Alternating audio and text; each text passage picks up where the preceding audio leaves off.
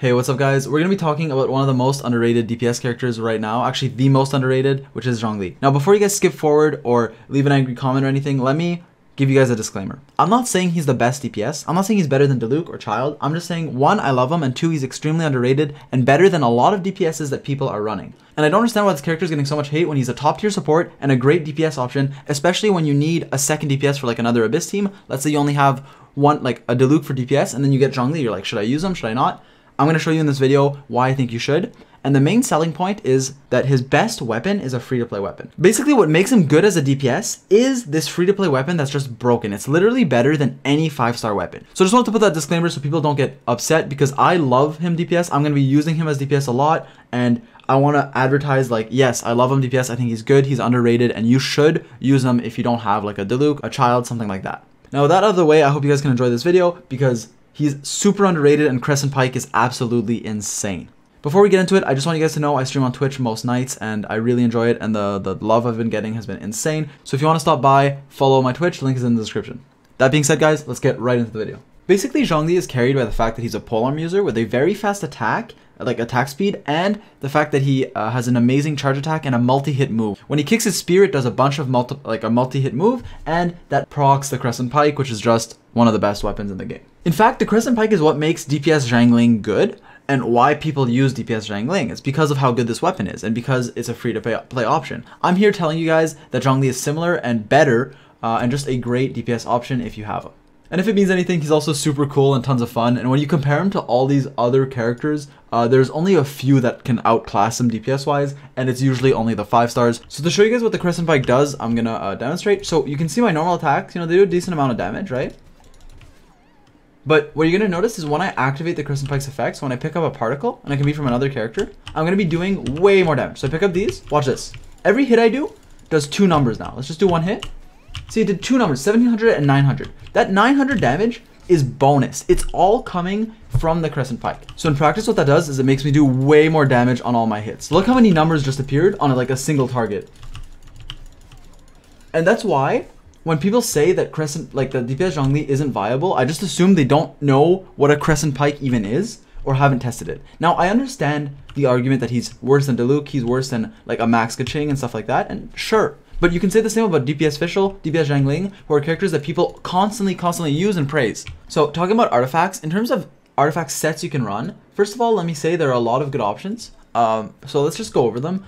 Before I get into the great ones, in the early game, if you're like still a low level player and you have Zhongli, you can run something like a two piece Berserker, very nice. But in the later game, there are many uh, really good sets you can run. So one of them is a four piece Glad. Running all four of it will increase your attack damage uh, from uh, your normal attack damage, sorry, by 35% because you're a, you are a polearm user. So that's very nice. You can run a four piece Glad.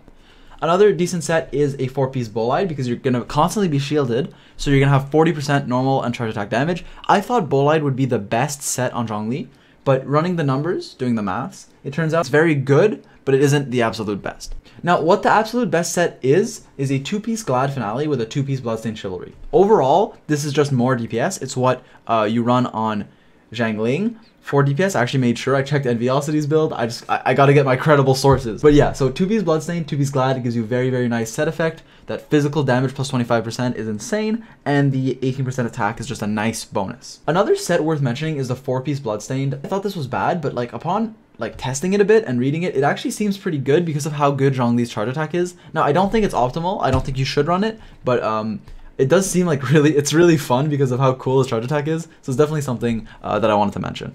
Also worth mentioning that I, am not talking about the Petra set because this is a Geo damage set. So in terms of stats you want on your artifacts, um, obviously for substats, like the main things you're looking for are crit rate and crit damage. You just want to build crit like any DPS. Um, for your goblet, which is the most important piece, you want physical damage bonus. Uh, I've seen mixed DPS Zhongli with like attack or even like a Geo damage uh, goblet, but this I would recommend more on a support Zhongli. When you're running DPS, you're doing it because of the Crescent Pike and because of how fast you can attack uh, with like super conduct and all that stuff. So physical damage bonus is really what you want. In terms of circlet, you want either crit rate or crit damage. I'm using crit rate because I have a nice crit damage substat, very, very good artifact.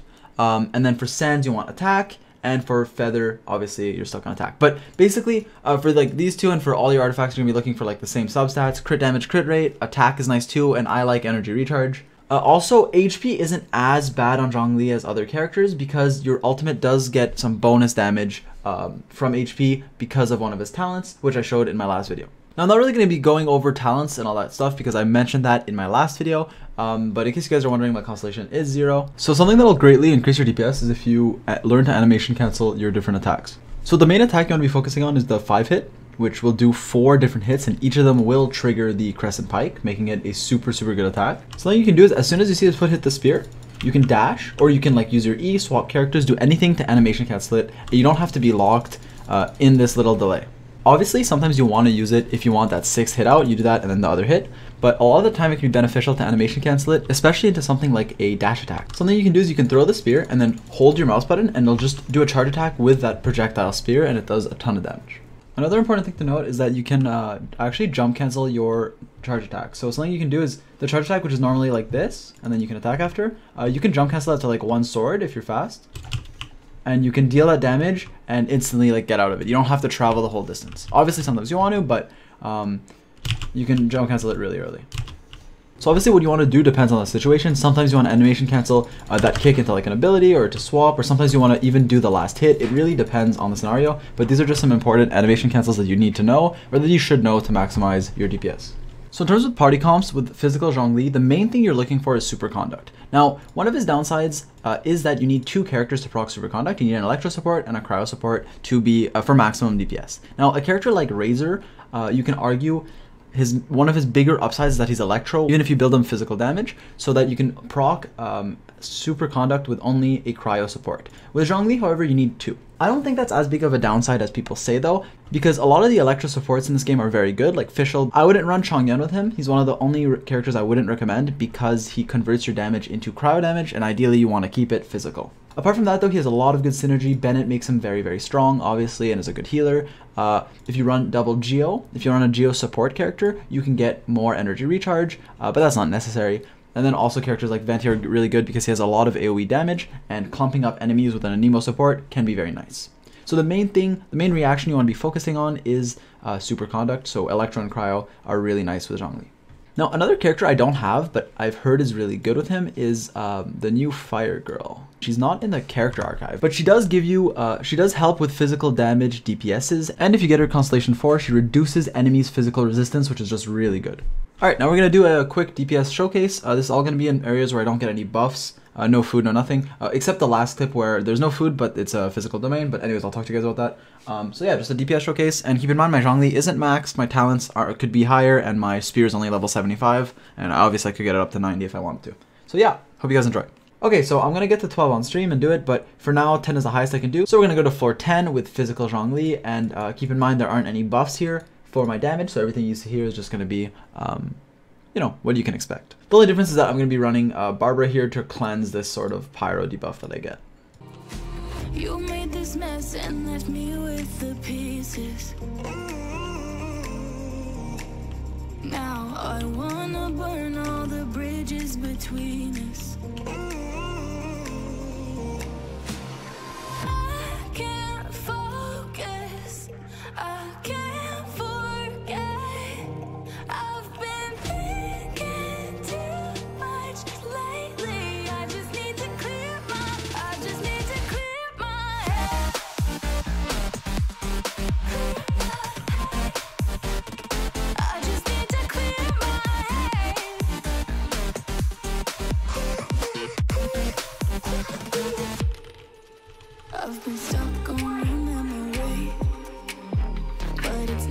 like I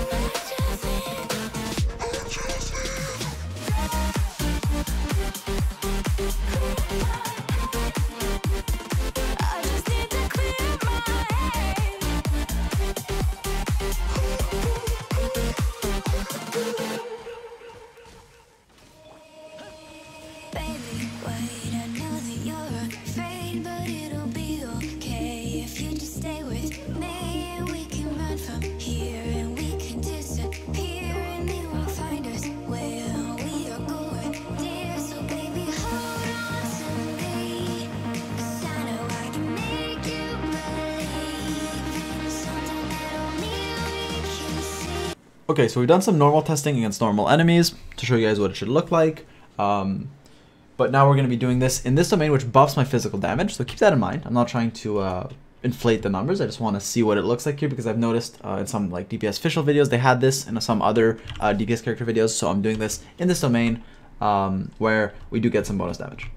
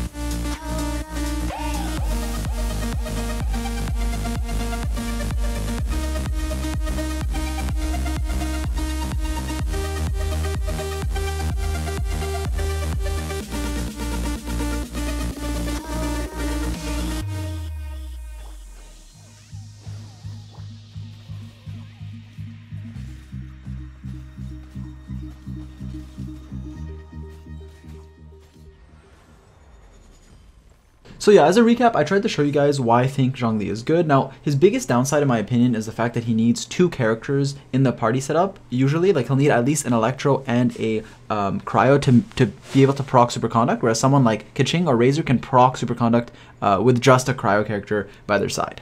That being said though, I think this character is so underrated and is getting so much hate for literally no reason. He's one of the best burst supports and as a DPS he's a viable and good option and I love him and will be running him. He's very similar to Xiangling who is regarded as one of the best F2P options and while Zhongli isn't free to play, his best weapon is, so if you get him um, and you need a DPS, feel free to use him as DPS because he is uh, a great option.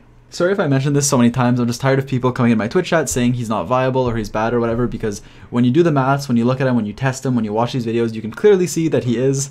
So I hope you guys enjoyed. Uh, if I missed anything or you have any questions, comments, leave them. I read just about every comment. Be sure to follow me on Twitch. I stream most nights. If you want to catch me live, uh, the link will be in the description, and I appreciate it a lot. You can also join the Discord if you want to. Subscribe if you want to. If you don't, that's okay too. And I'll catch you guys in the next one.